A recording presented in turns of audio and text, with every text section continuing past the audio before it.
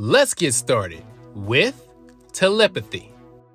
With the power to read minds like you would read a book, snatch memories from people and replace the ones you took, as well as project a presence so forceful that it can leave everyone aware, shook, or shock for those who don't know what that means. Also known by mind reading, ESP, clairvoyance, and possessing a sixth sense, users of this extremely popular and common power possess the ability of telepathy, the ability to receive and transmit information with one's mind without physical interaction.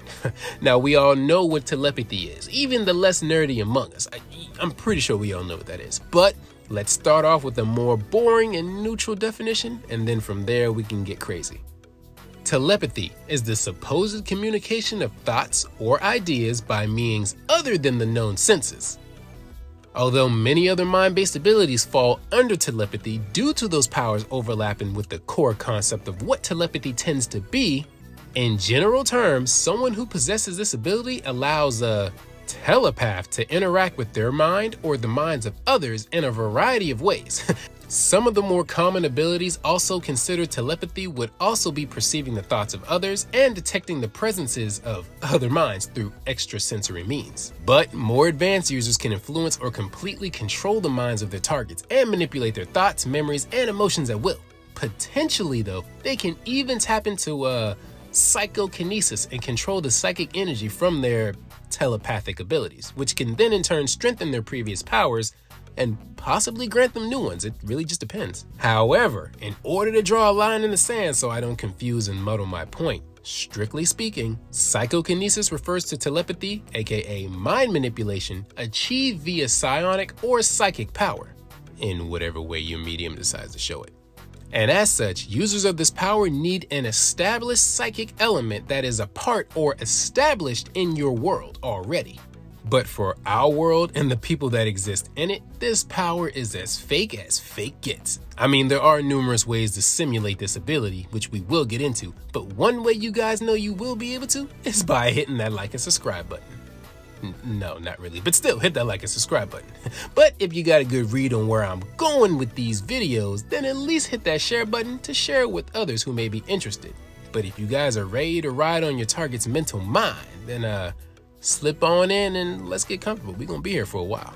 The origins of this fictional concept, and yes, unfortunately, it's a fake concept, has a weird origin if you can call it an origin at all. There have always been those who have claimed to be in touch with the supernatural, as telepathy as we understand it and, well, portrayed it, is normally seen as a supernatural effect.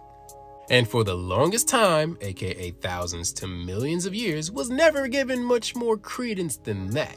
I mean, other than fortune tellers, clairvoyants, and the occasional dollar store psychic. But up until recently, and I'm talking about as recent as the 1800s, was this phenomenon given actual consideration as something that might have more validity? more than likely for wartime applications. Thank you, MK Ultra. So, after countless studies and offerings of monetary incentives and the drugging of innocent civilians, the super smart among us came to the conclusion that uh It doesn't exist. In fact, the pursuit of its discovery revealed that humans have always been and or always will be the conniest of con men and con women.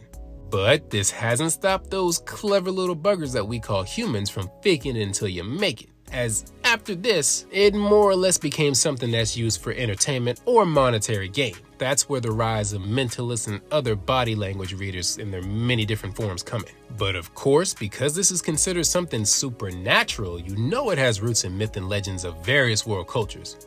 um, perhaps of every world culture. Of course, they didn't call it telepathy as that term is more, uh, modern, but that modern term does have roots in Greek phonetics, so think about that if you want to. It doesn't really matter. It was more or less called magic or divination. And as you guys know, in most cultures, magic is seen as something that either comes from a divine or devious figure aka gods or devils, or the respective mythological equivalent, whatever that would be in your particular culture.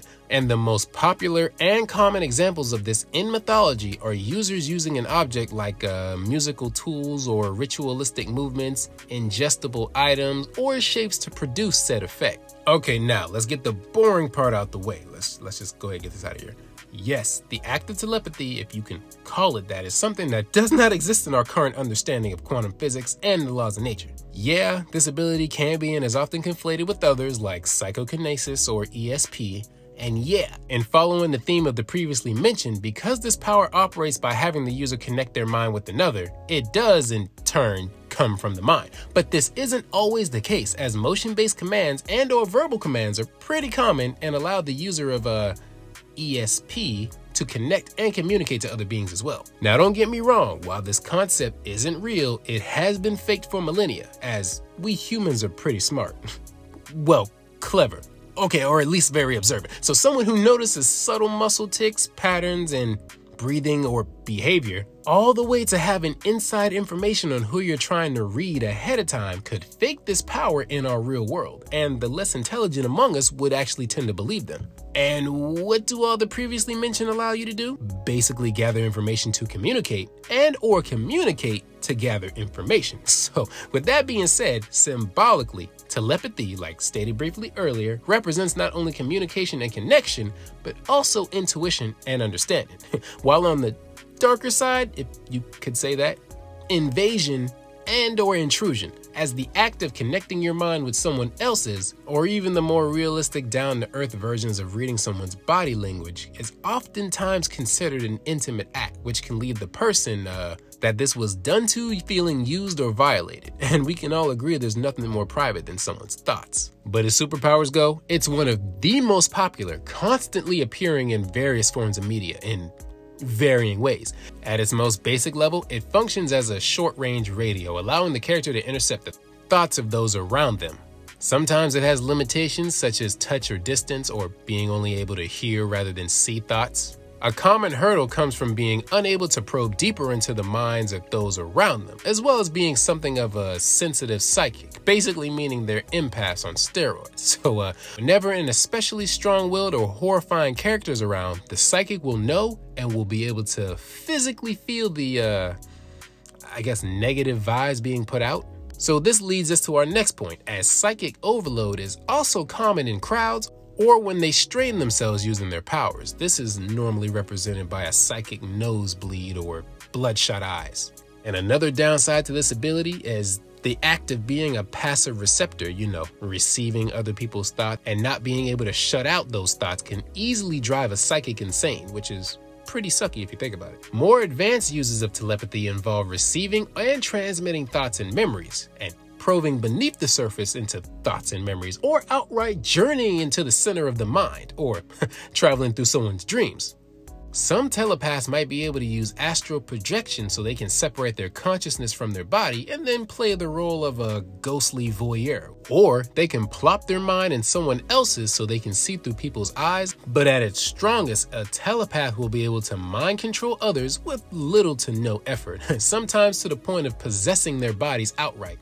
They could even create fake memories after, you know, some kind of plot based amnesia, create split personalities in themselves or the target, which is some kind of meditation based aspect of this power, and then in turn let the fake personality take themselves or take the target over, which is pretty scary or in general, be a terrifying god who can rip their opponent's mind apart and drive them into insanity. And because the mind controls everything, the person won't know what's real or what's not. So even if you don't have any other superpowers, you can make yourself seem like you do by attacking the target's mind. It's worth noting, however, that for the above reasons, telepathy is one of the most potentially pervertible powers, meaning that you get this power, you become a literal creep. I've already touched on the invasion of privacy earlier. So, long story short, if you come across somebody with this power, it might already be too late, as they could be affecting you and you won't even know it. So, let's just say if you hear about one or figure out a way to locate one without them locating you, good luck. I recommend headshots only. You miss, you're in trouble. Like, seriously, taking them out in one hit before they know you are there is critical. But in terms of a story, I guess the telepath is the metaphorical sighted man in the kingdom of the blind, provided he's discreet. He can know everyone down to their most intimate detail and can use this acquired information accordingly. Oftentimes, though, this is a lot worse when he's the dictator or the overlord of some sort. So, uh, it would go without saying that mind manipulators in real life could cause a level of paranoia that our world is not really ready for, which is a good thing they don't exist. This is why in settings with a unmasqueraded telepaths, they're often feared, persecuted, policed, and registered. That is when they aren't used as weapons or straight up killed off top. Heroic telepaths are thus in a difficult position both inside and outside a story because they will normally have to prove that bad powers belonging to bad people aren't necessarily true.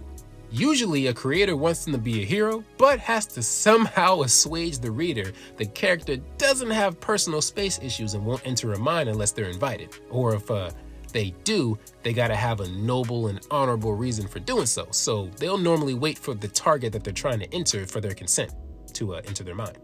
On top of that, the character will also have to put their colleagues at ease that they aren't going to turn into a mind prober and turn them into droids. That's more than likely going to come up a lot if you're sharing a group with the mind reader. So unfortunately, for a user of this power, they often really do have to practice what they preach and uh